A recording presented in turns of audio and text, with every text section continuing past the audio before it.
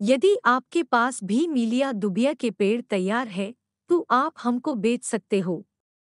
पेड़ों की उम्र कम से कम पाँच साल होनी चाहिए। गर्थ कम से कम अपनी 22 से 23 इंच होना चाहिए। और हाइट लगभग 30 से 35 फीट होनी चाहिए।